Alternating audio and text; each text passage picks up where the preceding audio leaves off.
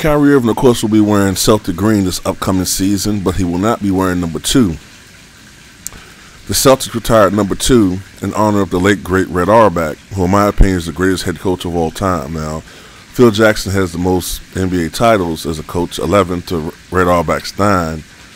But when you include Red Auerbach's tenure as, what was he, general manager or president of operations? I forget his exact title.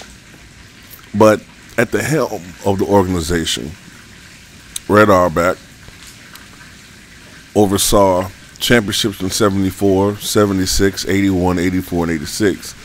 So altogether, Red Auerbach was involved in 16 championship teams. So in my opinion, I still think he's the greatest head coach of all time. And now I'm starting to, to think that Gregg Popovich deserves mention in that echelon as well. Uh, but that's another debate for another day. Kyrie Irving will be wearing number 11.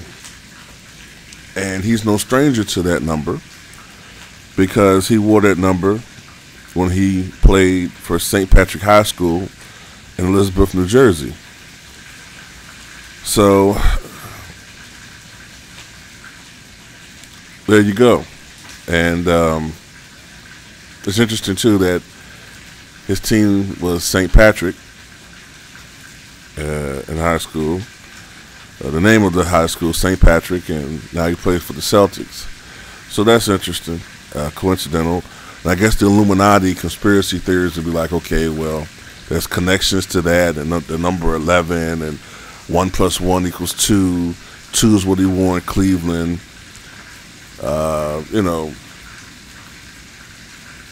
whatever. You know, 2 is the number of final appearances that he had plus this or whatever. You know how some people are, man. But tell me what you guys think about number 11, Kyrie.